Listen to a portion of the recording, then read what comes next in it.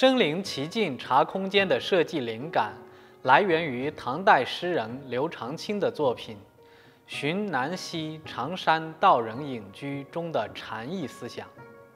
设计师想借此表达一种惬意的心理和清幽静谧的禅意茶空间。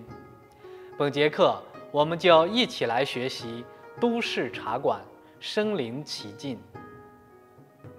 过于看松色。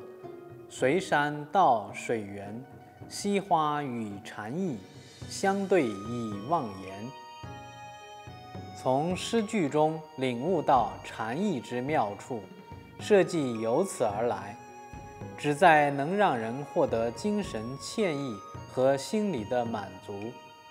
从幽溪深间的陶冶中得到超悟，从摇曳的野花静静的关照中。领略到恬静的清趣，融化于心灵深处，是一种体察宁静、荡涤心胸的内心喜悦。自在恬然的心境与清幽静谧的物象交融为一，希望所有人都能获得乘兴而来、兴尽而返的惬意自得的体验感受。设计师认为，文化传承、艺术根植的历史语境需要通过现代写意手法诠释，才能碰撞出空间新的记忆。设计理念通过海派文化为引，结合当代语境解读文化符号，成功打造了国茶集团品牌风格的新标杆。当人们来到这个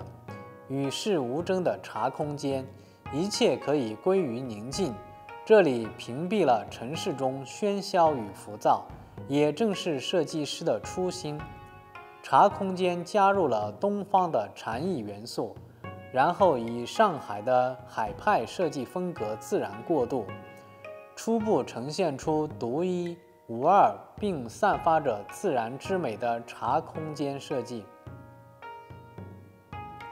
身临其境茶空间历时近半年时间建造而成，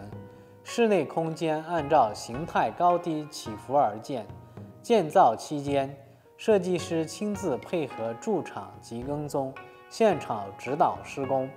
解决施工细节问题，才保证设计完美落地。茶空间的中庭禅意品茶区由五个盒子造型的空间相隔组成。前厅入户大堂及过道，在设计环节用中国文化的对景、框景、造景的手法，来颠覆传统茶空间设计理念。在中庭区包厢的视觉感上，犹如漂浮在空中的渔船，整个盒子造型空间形态高低起伏，相互交错，内与外之间以走廊相连接。在包厢体验过程中，可以在窗外遥看上海虹桥飞机降落或起飞的整个过程，同时也可以看到上海东方明珠的顶端。中庭共计五间禅意包间，空间还设有吧台、独立展示店和休闲户外茶室，每间茶房都设有独特的入户设计。展现出东方新禅意之美，同时也给客人带来了私密的体验。禅宗强调教外别传，不立文字，直下承当，见性成佛，是要将禅的精神融入到日常生活中，亲身去体味觉悟。这既是生活禅，以中国文化中禅自由自然的。中风为起点，在茶室中体悟禅悦，在禅悦中完成茶事，吃茶与生活禅意相通，慢慢明心见性。静是禅静、茶静、心静、意静。